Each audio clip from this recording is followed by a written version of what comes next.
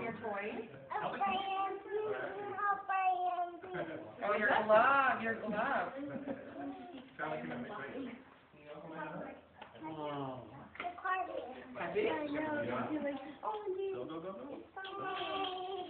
That's pretty cool.